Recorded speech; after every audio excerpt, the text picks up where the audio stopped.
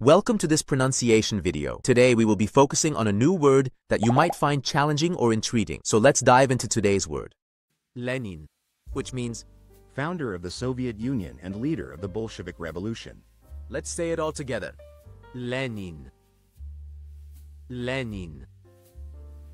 Lenin. One more time. Lenin. Lenin.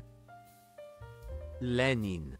Thank you for joining us on this adventure in pronunciation. Remember, language is a journey, not a destination. Keep exploring, experimenting, and expanding your linguistic horizons. We'll see you next time.